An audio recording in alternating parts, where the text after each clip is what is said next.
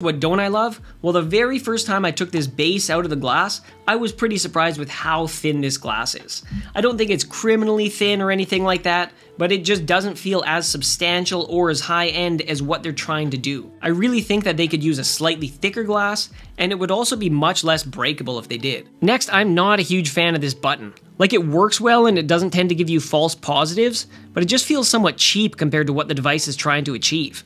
It's too clicky and loud, it doesn't have that high end feel that matches the rest of the device. Finally, the price feels on the high side of acceptable. You are definitely paying to be an early adopter of this new technology. I imagine they have huge research and development costs to produce something like this, as I don't think that the physical device itself is going to be super expensive to produce in quantity. I think a price of 250 US rather than 300 US would be much more palatable, but over time it might get down there.